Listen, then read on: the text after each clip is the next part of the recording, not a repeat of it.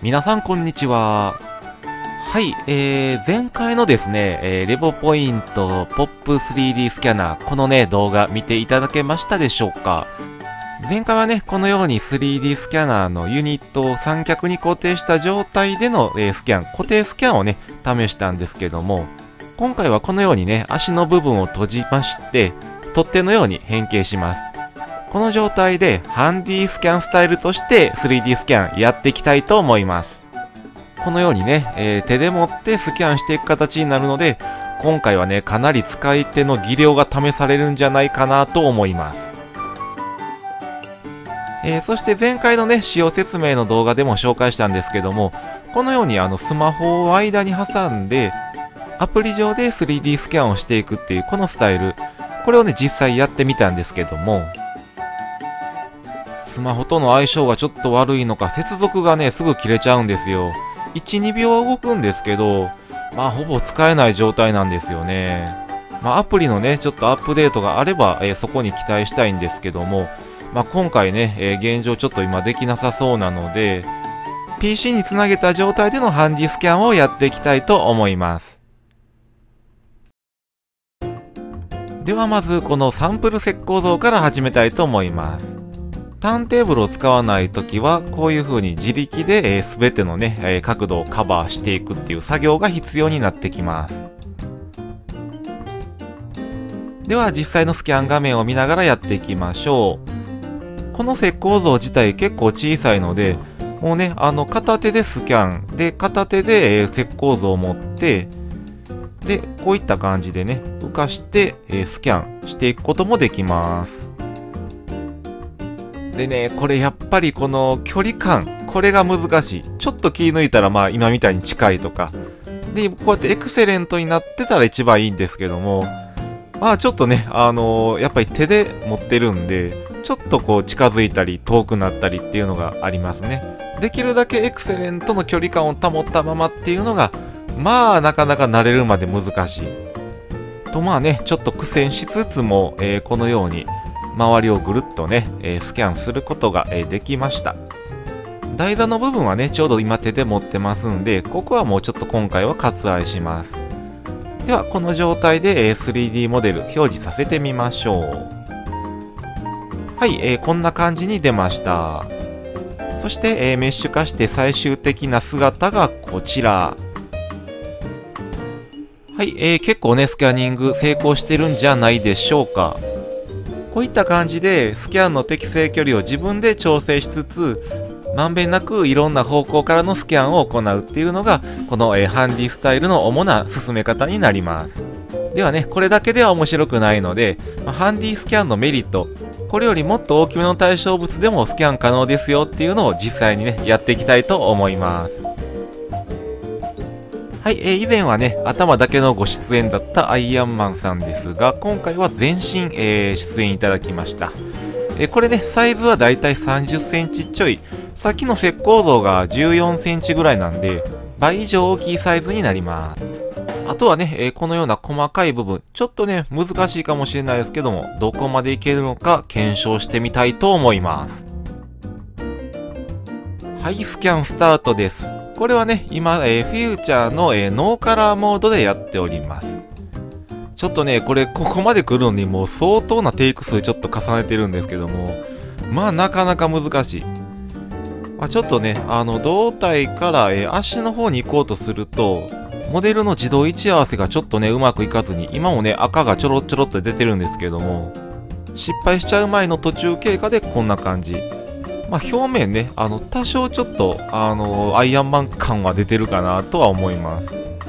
ちょっとね、このままだと拉致が開かなさそうなので、ターンテーブルも使って、えー、再チャレンジしてみます。はい、画面がね、ちょっと横になっちゃってるんですけども、まあ、このまま、えー、スキャンスタートです。ちょうど今、えー、ターンテーブルで回転してるとこなんですけども、それプラスアルファ、まあ、自分の手で、位置調整っていう形になります。まあね、背中であったりとか、まあ、肩で、えー、正面、なんとかね、なんとかギリギリぐるっとかろうじて一周回れたかなという感じ。はい、えー、ちょっとね、あらはあるんですけども、まあ、なんとなく形は取れました。特に金色の部分のスキャニングの精度がちょっとよろしくないんですけども、これはもう前回ね、あの、紹介した粉末スプレーを振ってやることである程度は改善するんじゃないかなと思います。では、えー、ここから気になるメッシュボディに変換してみましょう。さあ、どうなるんでしょうかね、これ。はい、えー、出ました。なんか、なんかすごいあの、有機的な、有機的なアイアンマン感がすごい。あ、でも背中の方とかはちょっとメカっぽさは出てますね。だいぶちょっとね、あの、つるんとはしてるんですけども、まあ、腕のところ、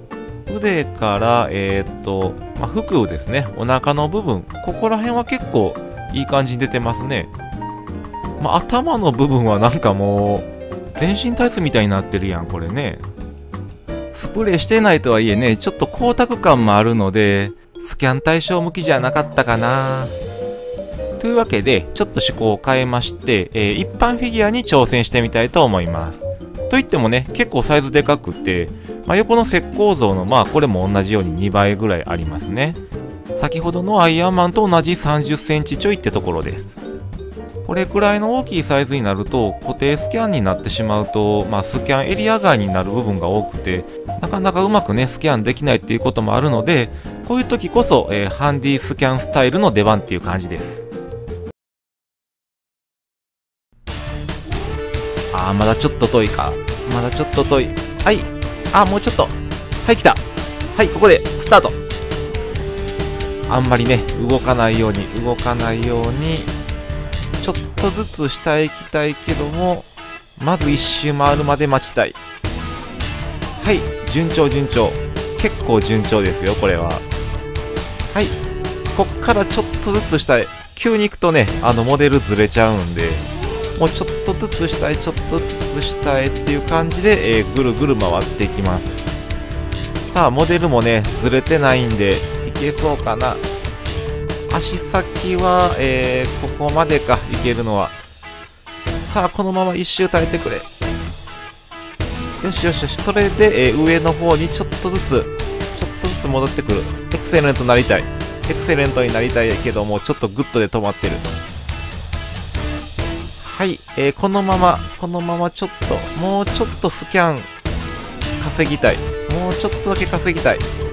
さあ、どうやろうこんな感じか。はい。どうでしょ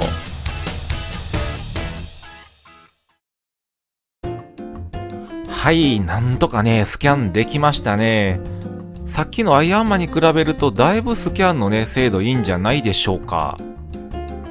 これ今回ね、まだターンテーブル使えたんが良かったんですけども、これもっともっと大きいね、あの対象だったら逆に今度自分が回らんとダメになるんで、さらに難しくなりそうですね。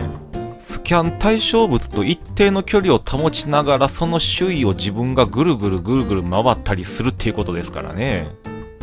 はい、えー、なんやかんやでもうメッシュボディができそうな感じですね。はい、できましたね。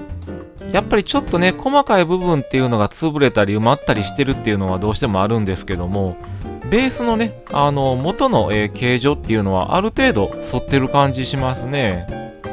スキャンエリアもね、えー、ちょうど頭の上からずっと下の方まで足先まで、えー、移動していって、え、画面外に出てしまう部分もあったんですけども、こうやってね、あの、モデル化されると、決してね、あの、上半身とか半身がもう泣き別れみたいになってるわけではなく、綺麗にあの一つのデータとしてね、あの、モデル化されてるかなと思います。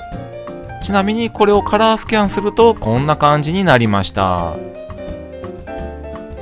はい、えー、まだね、完全にあのテクスチャ貼り付けてるわけじゃないんですけども、ある程度スキャン元の配色っていうのは再現できてるんかなと思います。さあ、ではね、この状態で、えーと、メッシュボディ化して、で、それでそこから、えー、テクスチャ貼り付けていきましょう。さあ、どうなるでしょうかね。はい、テクスチャ貼り付けてみました。まあね、あの、形状のスキャニングっていうのが、まあもちろんメインになってくるので、この辺のカラー情報っていうのは、まあある程度ね、あの、おまけというとあれですけども、サブ程度で考えといてもらった方がいいのかなっていう感じです。はい、ここまでね、あのフィギュアに連続で検証してみたんですが、いやいや、まだ大きいもんとかね、あるでしょうと。フィギュア以外とかってどうなるんよっていう、まあ、気になる方いらっしゃるかと思います。で、実はね、これ以外にもいくつか、あのー、検証していたんですけども、結構ね、やっぱり暗い色、黒色とか入ってるとうまくいかなかったりする場合が多かったんですよね。で、あの、巨大なもので明るい色味のもって、結構ね、あの、自宅あんまりございませんでして、はい。で、しかもあの、PC につながってる3メートル背景でしかちょっと動けないというね。まあ、ノートパソコンでもあったらよかったんでしょうけども、特にね、今映ってるもうダーツボードなんてもう黒の部分がね、ほぼ読み込めてないので、これがね、全くうまいこといかなかったですね、やっぱり。あとはちょっと大きめのね、革のバッグとかも、これもね、試してみました。まあ、ある程度は、ある程度はこうやってね、あの、形状読み込めるんですけども、まあ、あの、ちょっと暗い部分とか、あの、影になってる部分っていうのは弱いんで、まあくまでなんか表面をちょっとね、あの、かすめ取るような感じのスキャニングっていうのがメインになってしまいました。で、こうやってあの画面をね、どんどんどんどん移動していくと、先にスキャンした部分と後でスキャンした部分っていうのが、うまいことね、位置合わせができずにずれてしまうとか。まあ、こういうとこは、あのー、前の動画でも紹介したマーカーのシールですね。マーカーのシール自体も貼るのが必須というわけではないので、できることなら貼ることなく通常スキャンができればなというのが正直なところ。そして今回不具合でね、残念ながらできなかったあのスマホを使っての、えー、アプリ上のね、3D スキャン。これがね、できたら屋外でのスキャンとかね、ちょっとやってみたかったんですけども、またね、今後、あの、もしできるようになったら、あの、動画にしてみたいなと思います。あ、これはスパイダーマンを 3D スキャンチャレンジした時のやつですね。まあ、このね、あの、ポップ 3D スキャナー、これをクラウドファンディングとかで、まあ、入手しましたよっていう方おられましたら、まずは、えー、前回動画のような固定式の、えー、3D スキャン、これから始めるのをかなりね、強くお勧めします。そして扱いが慣れてきたなっていうところで、ぜひね、このハンディスキャンスタイルで、えー、挑戦してみていただきたいなと思います。それでは今回もご視聴ありがとうございました。また次の動画でお会いしましょう。